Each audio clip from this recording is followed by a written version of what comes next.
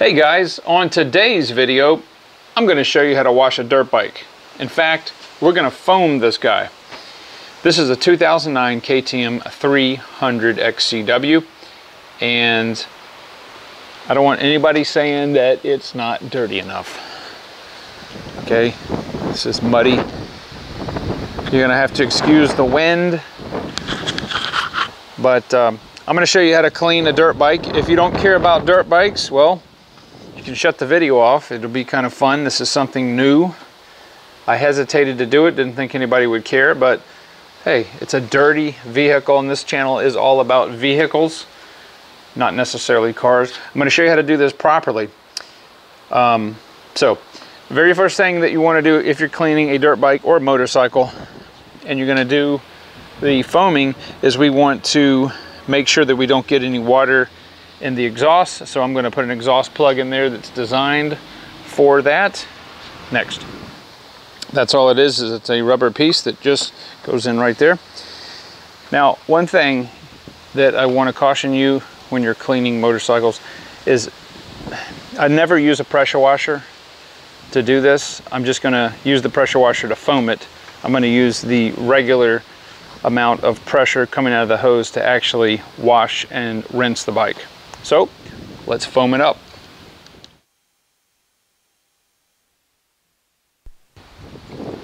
All right, so there's nothing special. I just grabbed some Armor All car wash and I've got about, I don't know, 20 ounces of water, a couple, three or four ounces of the soap.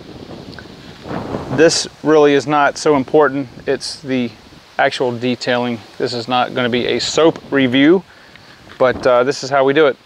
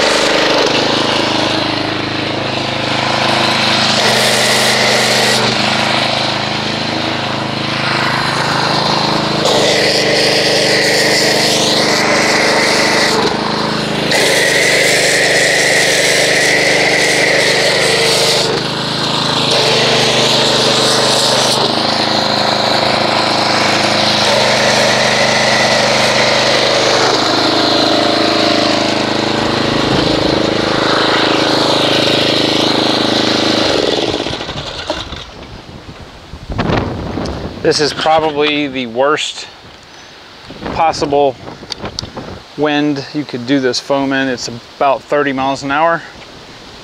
But anyway, that's what we've got. I just soaped the entire thing. I'm gonna let it dwell. And I'm gonna use some simple green and clean the seat first. All right, so I'm just gonna take my stiff wheel well brush. I'm gonna spray some Simple Green. Now Simple Green, the reason I use this is because it's the only thing that'll get the staining from the dirt off of the seat without harming the seat.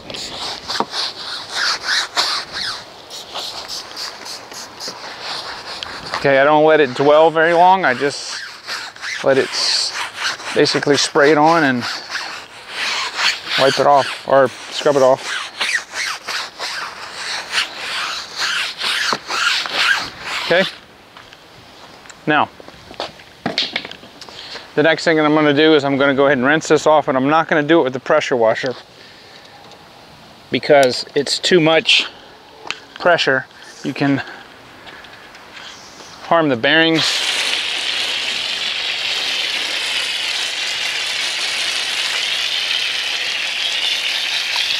Just regular pressure.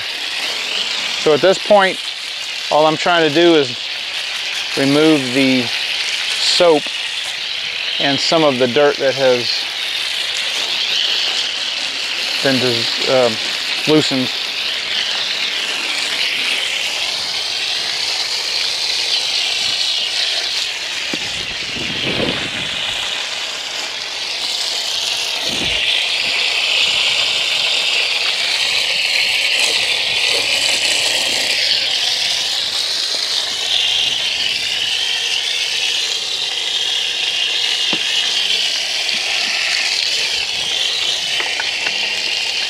So some of the places in the nooks and crannies have dirt that is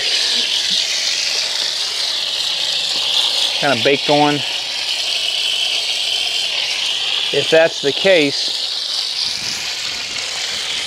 then you can use a nozzle on the hose, which is what I do, to knock some of the more caked on mud, especially up under the fenders.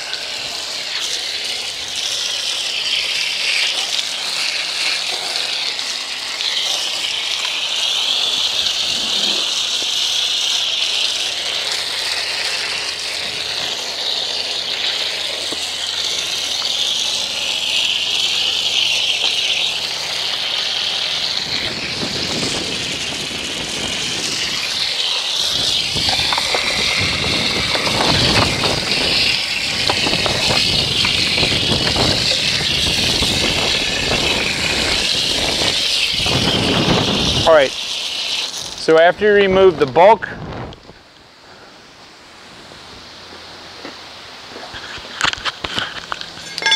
of the soap and mud,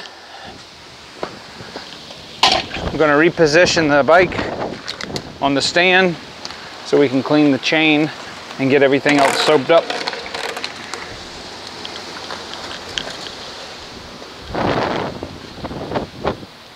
All right, so after the bike has been thoroughly rinsed, we're going to take some simple green and just spray it on the chain.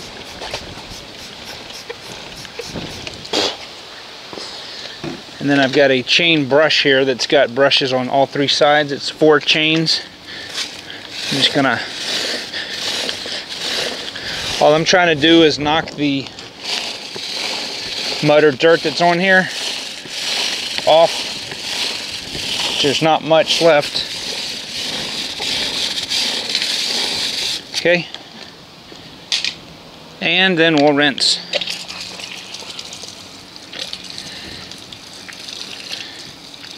Now I clean the bike and the chain every time I ride it.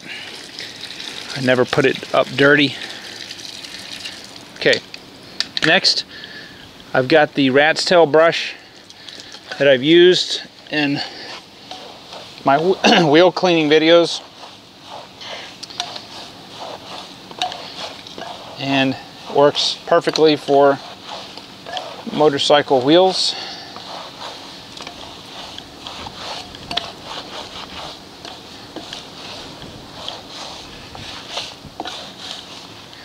Then I'll go in and clean the hub. This brush makes it so easy to do what I'm doing. And get the swing arm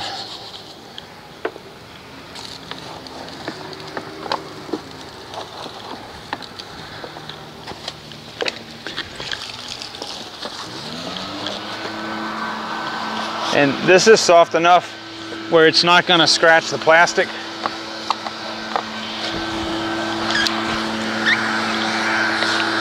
Very easy to get down in the nooks and crannies. Get up under where the fenders are.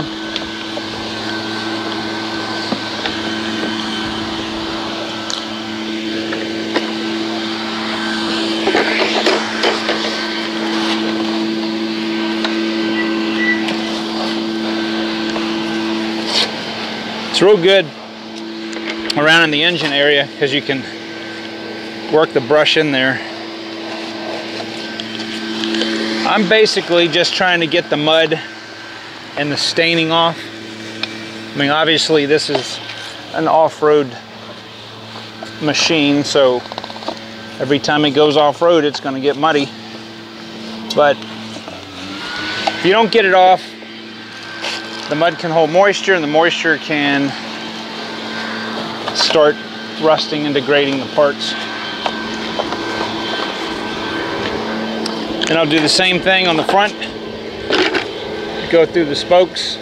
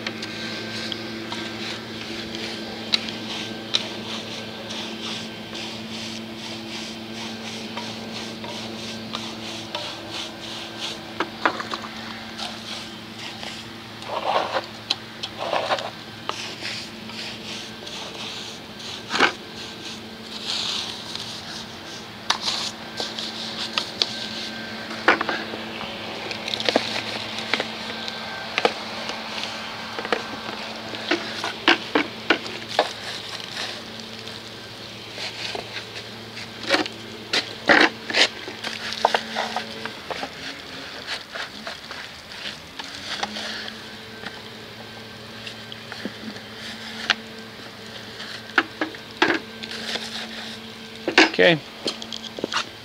Then I'll just rinse.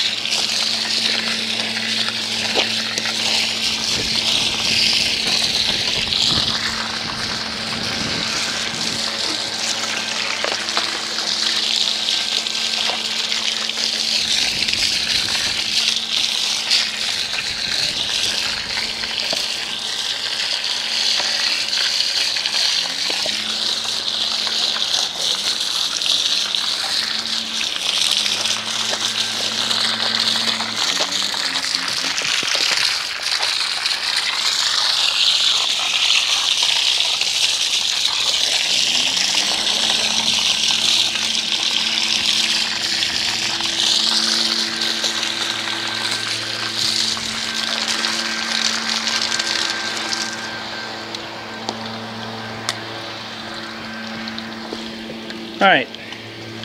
Now the next thing that I'm going to do is I'm going to be blowing the bike off with a leaf blower to help dry it.